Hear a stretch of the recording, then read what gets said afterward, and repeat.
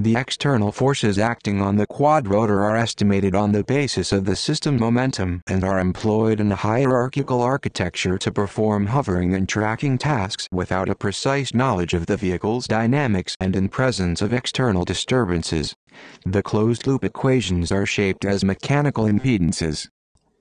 Experiments have been performed in the PRISMA arena which is equipped with an OptiTrack motion capture system. The employed quadrotor is an AscTec Pelican. The controller is implemented on board at 100 Hz. A hovering task is performed at 1 meter from the ground. An additional load has been put on the vehicle and not considered in the control, while a fan produces wind in front of the quadrotor. At the beginning, the fan is turned off. Then, the operator turns on and off alternately the fan to produce a time-varying disturbance on the aerial vehicle.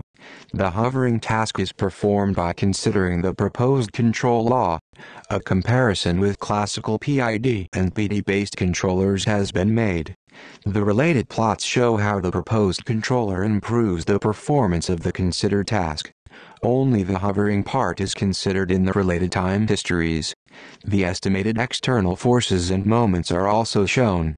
It is possible to notice both the estimation of the force due to the additional load, along the z component, and the reconstruction of the external force, caused by the wind, along the x direction.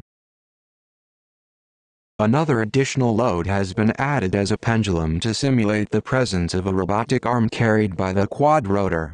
Again, this has not been taken into account in the control but considered as external disturbance. The vehicle has now to track a circle planned in the XY plane at a constant altitude from the ground and executed twice. A comparison of the tracking task between the proposed controller and classical PID and PD has been performed.